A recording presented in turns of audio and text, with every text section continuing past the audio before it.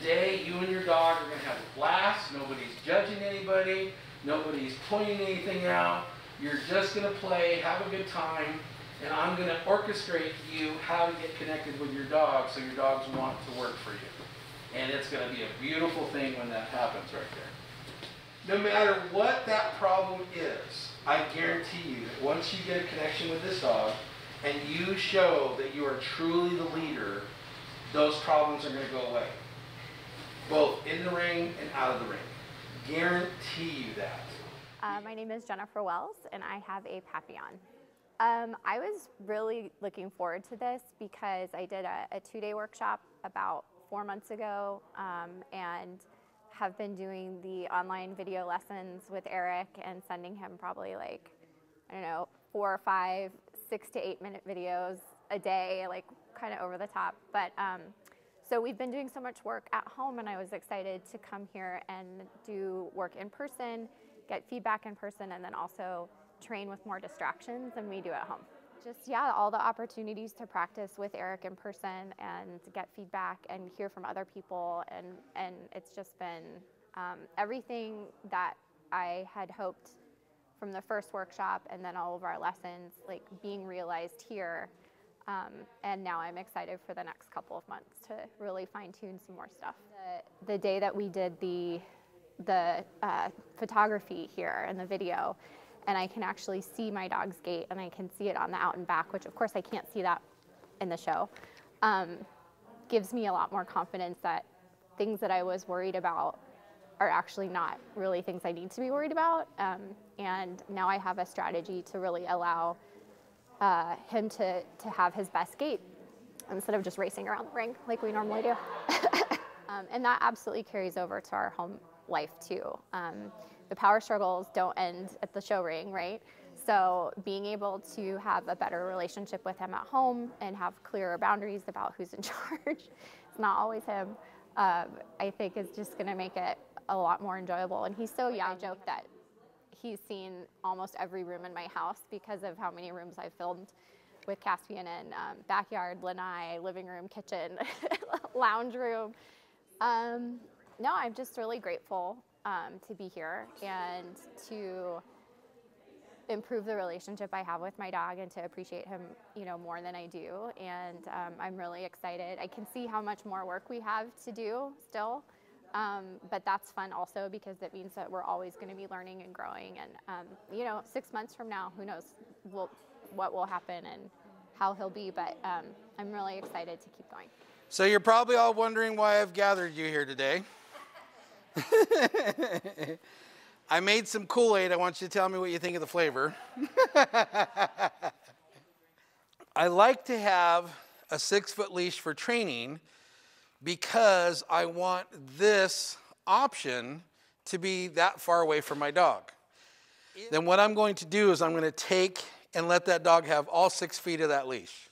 Then this dog isn't going to be uncomfortable if it wants to have some of its own me time. So when I have this dog on the leash for the first time, or I'm starting to teach communication, the main thing I want to do is I will have the leash in my hand and then I will have a treat in my pocket, which I can hold with my thumb and forefinger like this. I want to take the treat and put it in front of the dog's nose and lead the dog to a target. I'll tell the dog, touch. When it touches the target, oh, that was great, and reward it with a treat. Now, some people think that target training the goal of the exercise is for the dog to touch the target. That's one of the goals. I'm trying to make the dog do something which puts me in a leadership position. But the other thing is, I'm trying to get the dog to understand that all communication comes from this hand. Right there. Now, you said I had a real big challenge, right? Uh-huh. Okay, you're Rottweiler. Okay, and you've got a six foot leash and a flat link collar? Kate, you don't have to call me sir, that's my dad. So go ahead and bring your dog in with that setup right there. Ah! He has no respect. Well, I already knew that. Back, back, back, Good. Good. Back up. Oh, that's good. Wait. Wait. Wait. Wait. That's a good. Ah. Wait. Wait. Where am I looking? Over him. Ah, ah. Come. Good. Good. Good. Good.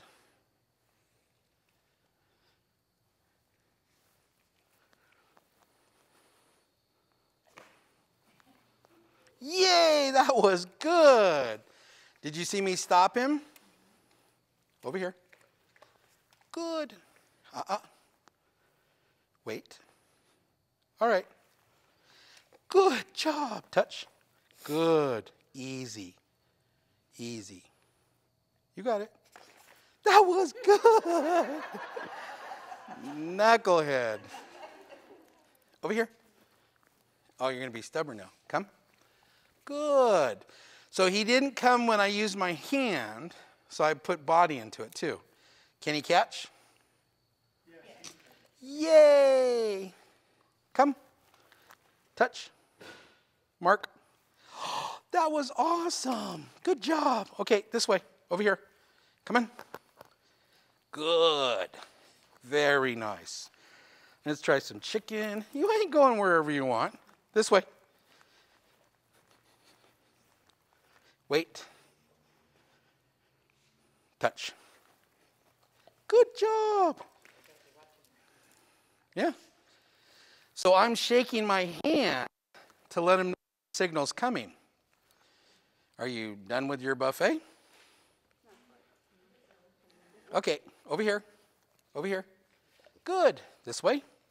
Wait. Touch. Oh, that was good. Go see mom. Does he know what the signals are? Give him a hand. What'd I do? Okay.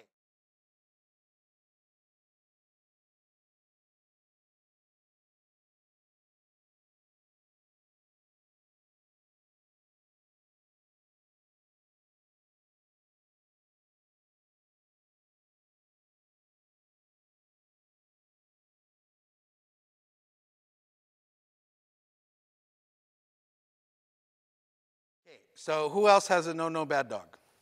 Okay, grab your dog. Oh, you have the lab too, huh?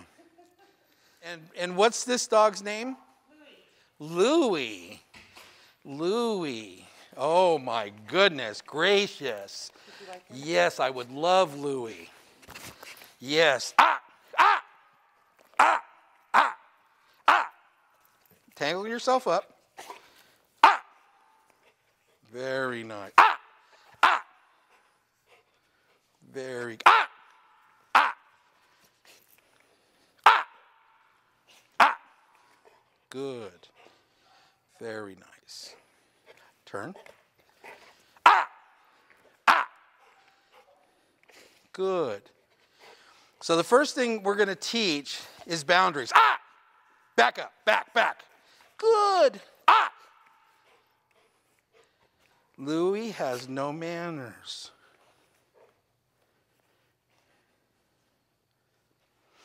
Ooh, he's got treats.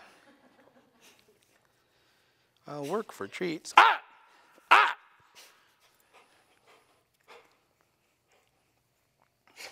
Stay. Louis. Ah! Touch. Ah! Ah! Touch. Yay! That was good. That was good. What did I do? I don't know what I did, but that was pretty cool. Ah!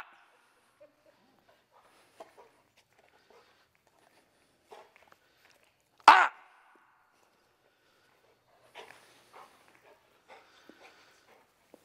Ah! Back up. You're too close. Ah!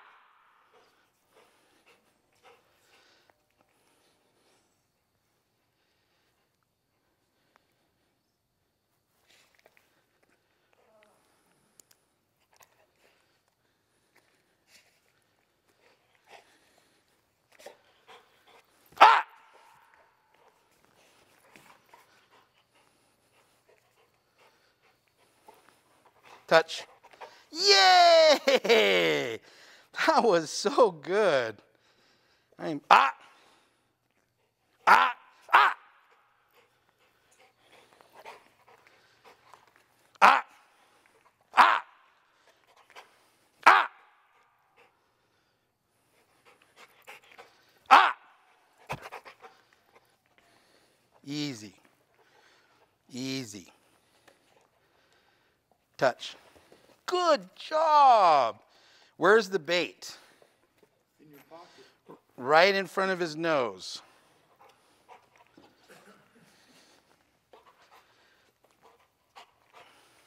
Touch. Yes, that was good. Wait. Wait. Ah! Can the conformation training be Ah! considered, uh, obedience training? We're not a conformation training. This, this has nothing to do with conformation. I'm just try, letting him know rules, boundaries, and earning respect. Once I have respect and trust, then I can start conformation training. So today is just dedicated to letting him know where our relationship is. Ah! So as far as training sessions go, do you, would you start with the target training before a head straight? Um, we're not at Head Straight yet. That's tomorrow. So if you take a dog that's extremely headstrong and you go into a head straight right off the bat, you could get bit. So here, ah, this is less evasive. I'm not trying to be that controlling. I'm just trying to teach this dog manners trying to teach him mutual respect. Ah! Mutual respect. Ah!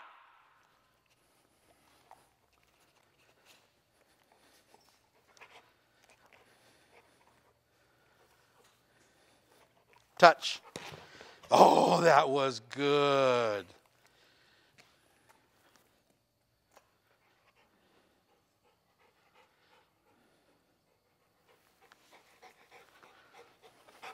Ah! Back up. Good. Back up. Good. Wait. Wait. Ah! Ah!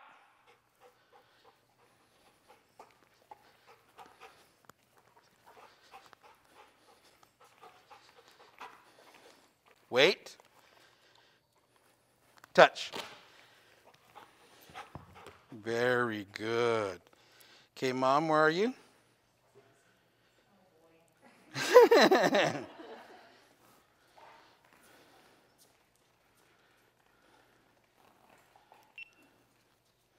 nice. See that right here?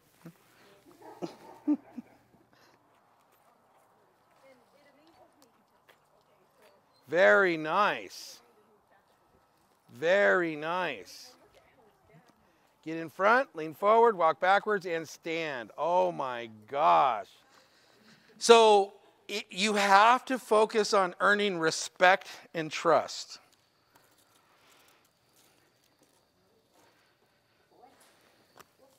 What's your dog's name? Heart. Like in the. Oh, cool.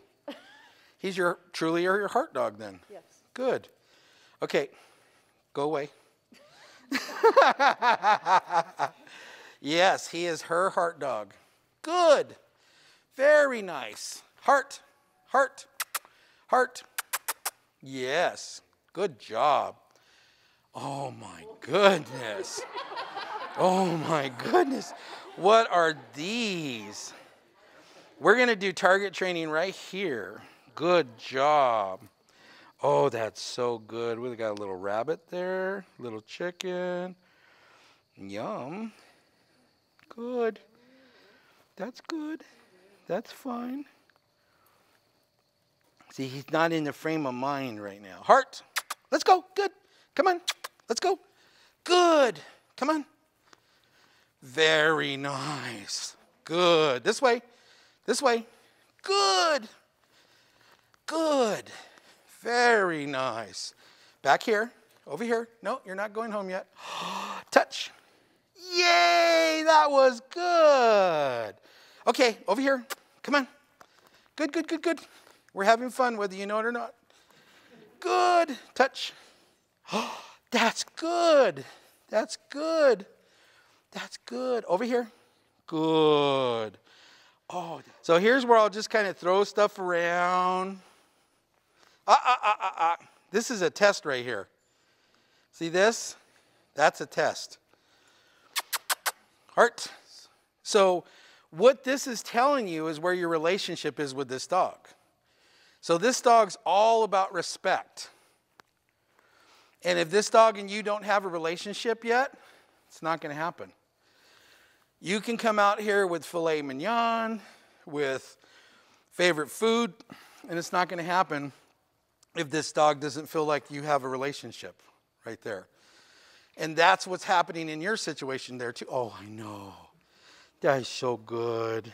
I love you. Yes, I do. Touch. Over here.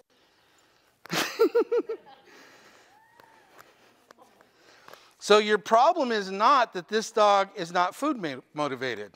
What's the problem with this dog? Doesn't trust. You got it. You got it. This is your first step right here. This is good because this is telling you what the problem is. The problem is this dog doesn't have any respect. Once this dog gets respect, you're going to get a lot out of this dog because this is a very nice dog. Yeah. Well, this is where it all starts. As soon as he touches one of these targets, that's your first step. This way. See that? He's starting to earn a little respect there. This way. Heart. Good. Good. Very nice. Good. Oh, that was so close. Good. Okay, let's go this way because I'm going to try something with you. Over here. Very nice. Good.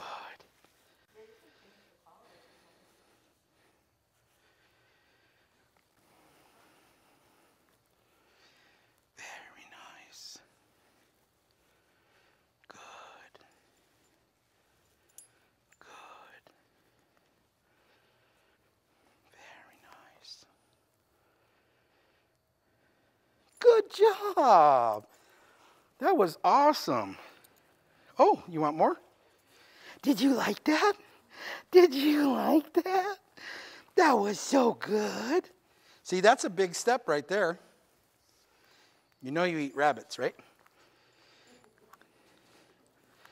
Okay, let's do the head straight again. Over here. Come on. Come on. You're not going to mom.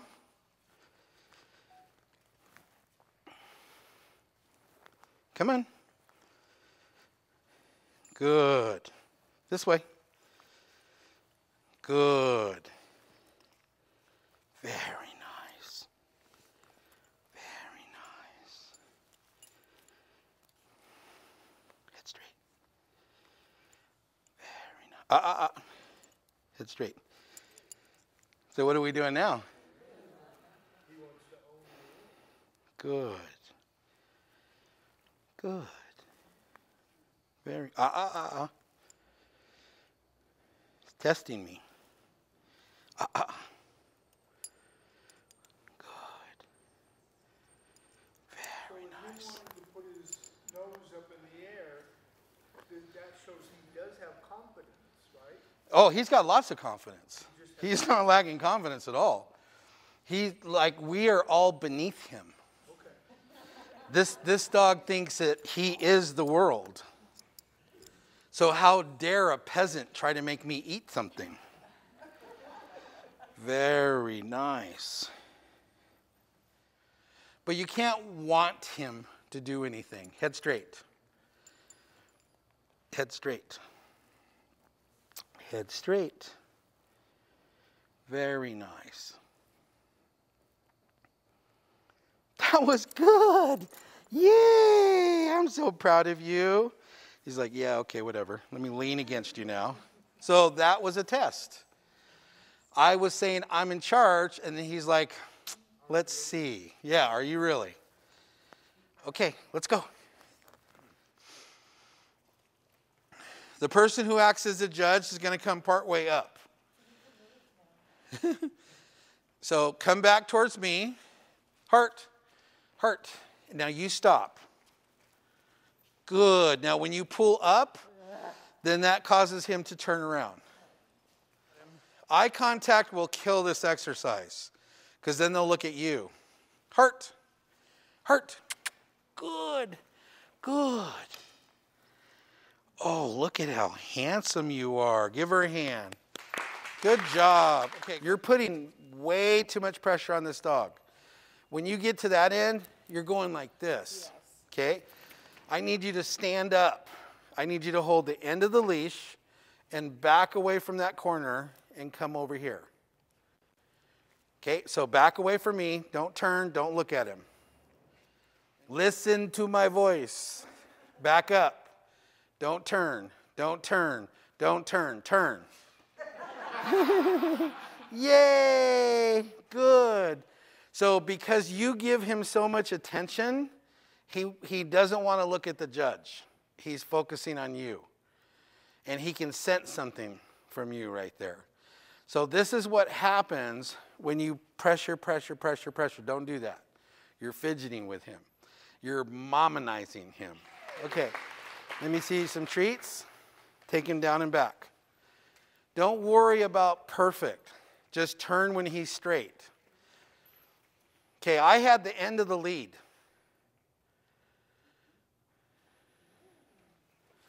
Good job. Very nice. Yay! so you are creating all of this this eye contact, tight lead, fidgeting, all that stuff is creating this. If you just relax, enjoy what you're doing, let him be a dog, then he's not going to think about this stuff and he's just going to go do it. By the end of Friday, it's going to be a cool dog. Okay, let me bring my heart dog in, please.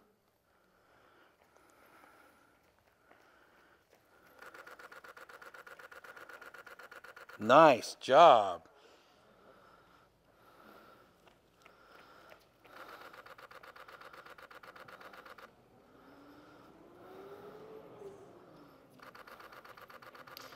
Very nice. Okay, put this dog away.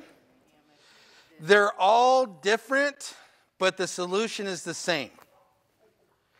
So, the solution for your dog, your dog, heart, and all these are the same thing respect and trust. Sometimes it's baby steps, sometimes it's a little more. But imagine if I took a wild wolf and it's been out there for a long time, and I said, You're going to work for me. Would I be able to go in and just start training that wolf? That's a wild wolf right there. So, what I did is I made him do a lot of little tiny baby steps until he got to the point where it's like, okay, well, maybe this guy's not so bad. I wasn't wishy washy with him. He went into the crate on my terms. He didn't drag me over to the crate. And he ate the rabbit. Yeah, big thing right there. And so with this dog here, he's going to take time. Now he just ate the liver. he's going to take time, but you can't expect anything big fast, and you can't expect him to just give in and give you everything. When a dog is not taking a treat, it's not that they're not treat oriented. And that's a big misconception right there. If a dog is not taking a treat, it's the relation. he just ate the other liver. And it's, it's a situation where they don't respect you enough to do that. It's, again, you're the peasant. How dare you feed me your food? Like that. So take your time, do training sessions during feeding time. Because then he's got to eat right there. And you take baby steps, baby steps, baby steps until you get to the point where he touches that one consistently. Then he touches this one consistently, touches that consistently, the advanced one consistently.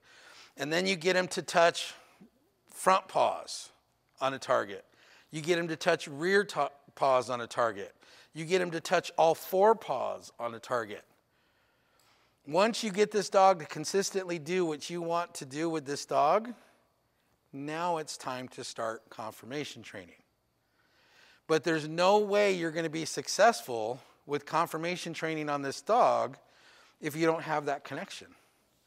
So if you came to me and said, Look at him, you're telling all my secrets.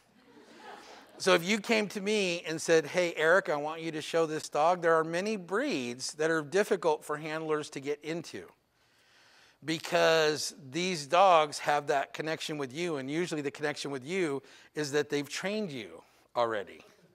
They don't want to go train somebody else. It's a waste of time. They already have somebody perfectly trained for this lifestyle. And then once you get somebody who connects with them, they will do 200%. And when that connection is present, the spark is the most beautiful thing you can ever see.